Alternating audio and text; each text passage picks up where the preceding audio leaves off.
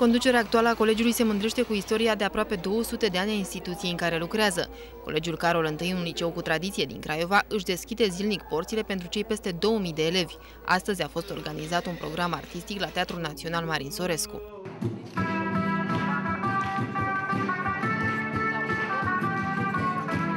Această istorie înseamnă performanță pentru școala noastră, înseamnă o tradiție care mai departe ne obligă pe noi, generația de astăzi, să ducem această flacără olimpică mult mai departe și în același timp să asigurăm o educație completă la cel mai înalt nivel în acest colegiu de prestigiu.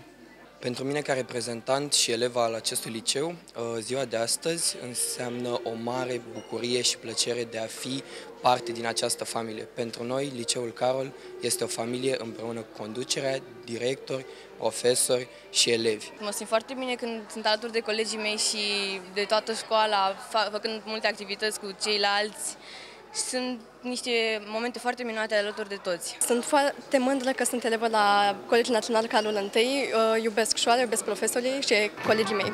La zilele colegiului au fost invitați să participe foști directori și elevi, toți mândri că au absolvit la liceul Nicolae Bălcescu, cum i s-a spus colegiului Carol I în perioada comunistă. Înseamnă uh, ziua cuiva extraordinar de drag din familia noastră, eu așa percep întotdeauna.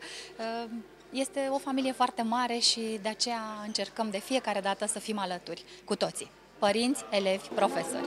Colegiul Național Carol I Craiova a luat ființă în anul 1826, când doi foști elevi ai lui Gheorghe Lazar și Ion Helia de Rădulescu, anume profesorul Stanciu Căpățăneanu și învățătorul Grigore Pleșoianu, au pus bazele Școlii Naționale Medii, a doua școală medie din Principate. Această școală primește numele de Liceul Carol I în anul 1885, prin înalt decret regal. Actuala clădire a liceului a fost ridicată între anii 1893-1895, iar regele Carol I a așezat în fundația acesteia un cilindru metalic cu documentul oficial al ctitoriei ce va deveni clădire de patrimoniu.